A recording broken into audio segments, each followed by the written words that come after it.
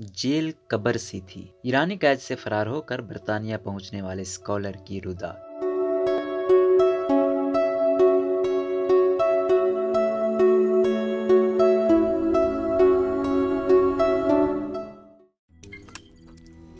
रोज़नामा कुदरत की वीडियो देखने के लिए अभी यूट्यूब चैनल पर सब्सक्राइब करें और बेल आइकन पर भी क्लिक करें।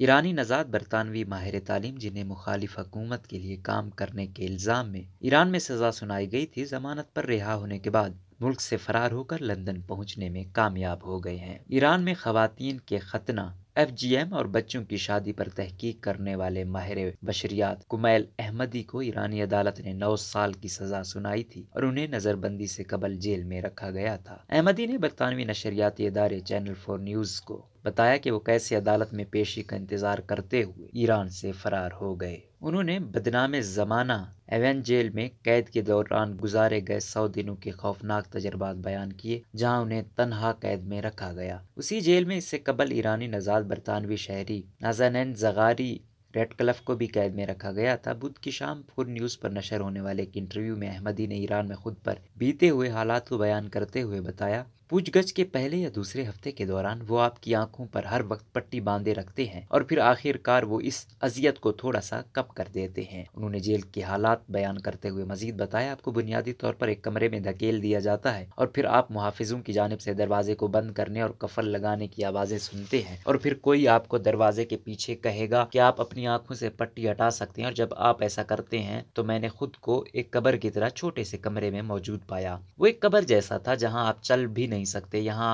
महज बैठ, बैठने, खड़ा होने या फिर लेटने के अलावा कुछ नहीं कर सकते। उन्होंने कहा कि जेल में इंसानों से रबते इतने महदूद थे कि वो बस अपने सेल में सिर्फ़ खाना या पानी धकेलने वाले हाथों को ही देख पाते थे। उसका मतलब था कि तफ्तीश के लिए बाहर ले जाने वाला अमल उनके लिए तस्कीन का बायस होता था। उन्होंने कहा कि पूछगछ आपकी वाद तफरी या लाइफ लाइन लगने लगती है। उन्होंने मजीद कहा, आप अपने सेल में वापस नहीं जाना चाहते क्योंकि आप वहाँ जाने से डरते हैं और ये एक फोबिया की तरह है। आप यकीन वहाँ वापस जाना नहीं चाहेंगे। और फिर एक ऐसा लम्हा आता है जब आप चीखना शुरू कर देते हैं। आपका दिल ज़ोर से धड़कना शुरू होता है और इस छोटी सी जगह का इतना खौफ होता है कि आपको लगता है कि वहाँ ऑक्सीजन नहीं है। वहाँ सांस लेने के लिए हवा नहीं है। ये एक या दो दिन की बात नहीं है। ये एक हफ़्ते या एक महीने की भी बात नहीं है। ये चलता रहता है और बिलाखिर आप जहनी तौर पर माजूर और अपने माहौल से बेनियाज हो जाते हैं। उन्होंने मजीद बताया और यहाँ तक कि जब वो आपको आधा घंटा ताज़ा हवा में ले जाएँ, तब भी आपकी आँखों पर पट्टी बंदी होती है। आपको कुछ नज़र नहीं आता, आप महज चंद आवाज़ें सुनते हैं, हवा चलने की आवाज़, परिंदों की चहचहाने की आवाज़ें, लेकिन आपको कोई दूसरा इंसान नज़र नहीं आता, आपका कोई इंसानी रबता नहीं रहता, तनहाई की कैद यही है। नौ साल कैद की सज़ा सुनाने के बाद मुल्क से फरार होने के अपने